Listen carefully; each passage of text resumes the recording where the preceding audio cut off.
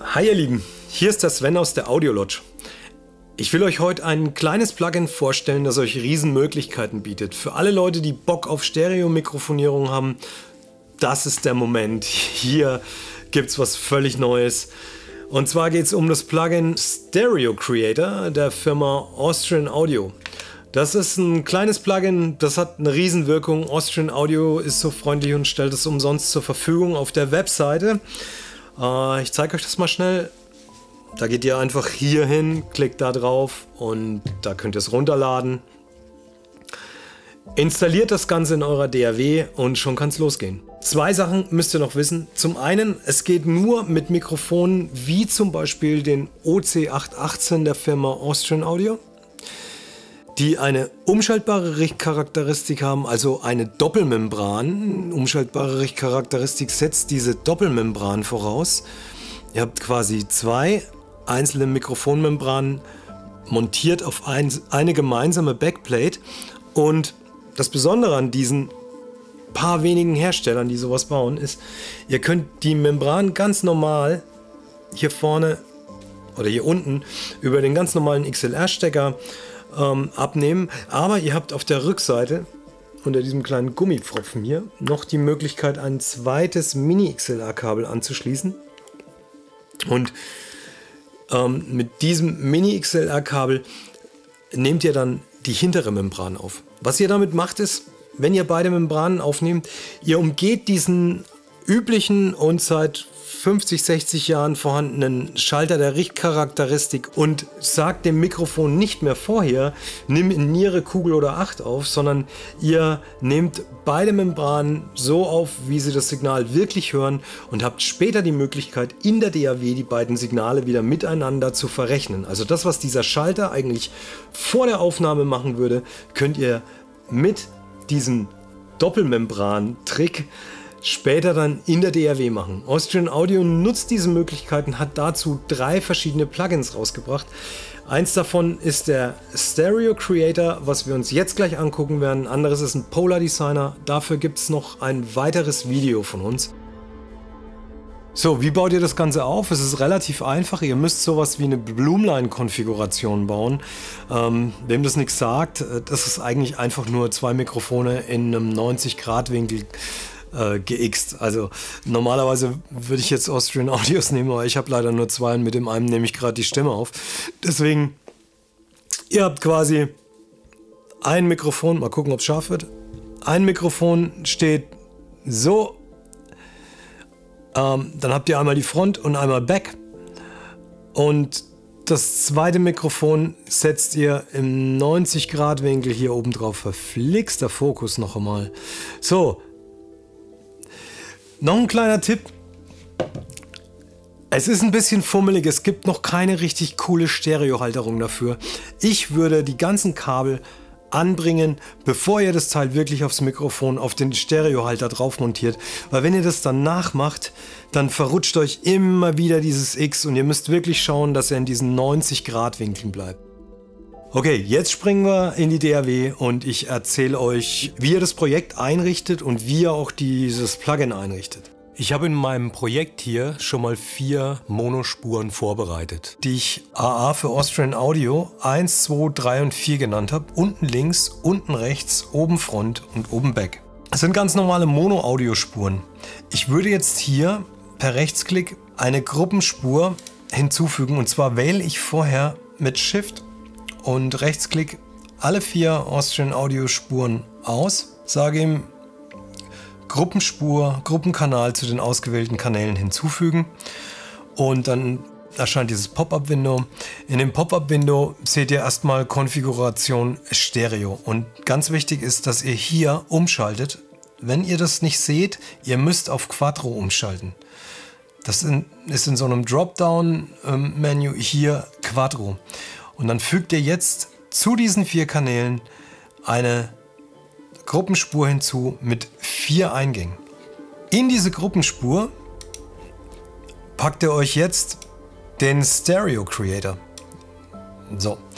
Und jetzt könnt ihr sehen, ihr habt hier 1, 2, 3 und 4 Left, Right, Front und Back. Genauso wie das in dem Creator aussieht, ist es hier benannt. Jetzt könnt ihr folgendes machen.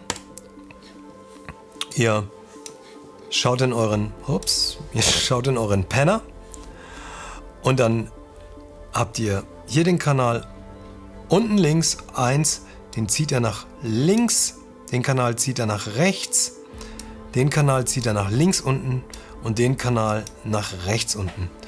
Und wenn ihr jetzt hier auf Solo drückt, für den ersten Kanal sollte hier in links der erste Kanal erscheinen. Richtig? Richtig? Richtig? Richtig. Okay, werfen wir jetzt einen genaueren Blick auf die Bedienoberfläche des Stereo Creators. Ihr seht drei Regler auf der rechten Oberseite und links ziemlich in der Mitte seht ihr ein Dropdown-Menü, da steht TrueMS. Wenn ihr dieses Dropdown-Menü mal anklickt, seht ihr, da sind oben zwei Funktionen ausgegraut.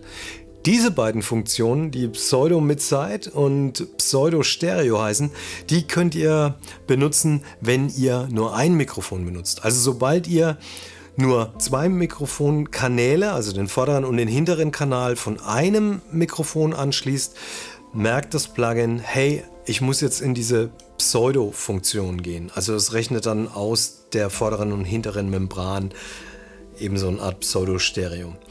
Wir haben jetzt vier Membranen angeschlossen von zwei Mikrofonen, deswegen stehen uns die Funktionen TrueMS, TrueStereo und Bloomline zur Verfügung. Seid ihr in Midside? Habt ihr hier die beiden Gains? Ihr könnt mit diesen beiden Reglern die Lautstärke der Mitte verändern und die Lautstärke der Seite verändern und ihr habt noch die Möglichkeit hier zwischen Kugel und eigentlich, es ist fast eine 8, es ist eine sehr breite Niere. Könnt ihr stufenlos bestimmen, wie euer Mittensignal aussieht. Wir werden das nachher hören. Ich werde während der Musik einfach mal da durchfahren. Hier gibt es jetzt einen Calculate-Button. Ähm, je nachdem, wie ihr die Mitten und die Seiten zueinander verdreht, äh, wird dieser Calculate-Button bei laufender Musik euch verschiedene Werte hier angeben. Der macht nichts anderes als die Ausgangslautstärken zwischen diesen einzelnen Stereo-Konfigurationen anzugleichen, sodass ihr später im Mix zwischen den einzelnen Signalen hin und her schalten könnt und äh, keine Lautstärkenunterschiede habt. Okay, das waren die drei Regler hier. In der Stereo-Konfiguration habt ihr einmal wieder die Möglichkeit, äh, eure beiden von den beiden Mikrofonen die Richtcharakteristik von extrem breiter Niere über fast schon Bloomline, also schon fast eine äh, 8 hin und her zu schieben. Und ihr habt mit diesem Regler auch noch die Möglichkeit, das sieht man vielleicht bei der 8 besser, ähm, den Winkel des Recordings zu verändern. Also fast Mono zu einem sehr, sehr breiten 150 Grad Winkel. Und Funktion Nummer 3, in der Bloomline-Konfiguration könnt ihr jetzt nicht allzu viel machen, das sind einfach zwei 90 Grad gekreuzte Achten. Aber was ihr hier machen könnt, solltet ihr bemerken, dass euer, euer Artist zum Beispiel nicht direkt in der Mitte stand, ihr das Mikrofon ein bisschen verdreht habt. Ähm, das passiert mir beim AEA manchmal und das ist extrem ärgerlich. Ähm, dann könnt ihr mit diesem Rotationsregler 30 Grad nach rechts oder links das Stereobild verdrehen. Jetzt springen wir einfach mal in den Mix rein von Helen und Christian und ich spiele mit diesen Funktionen rum. Dann könnt ihr hören, was da passiert und was man damit alles machen kann. Ich wünsche euch viel Spaß. Ich sage jetzt schon mal Tschüss. Ich lasse einfach nachher ein bisschen den Song laufen. Und ähm, wenn es euch gefallen hat, gebt uns ein Like. Ich wünsche euch viel Spaß. Danke fürs Zuschauen. Macht's gut. Euer Sven aus der Audiolodge. Ciao.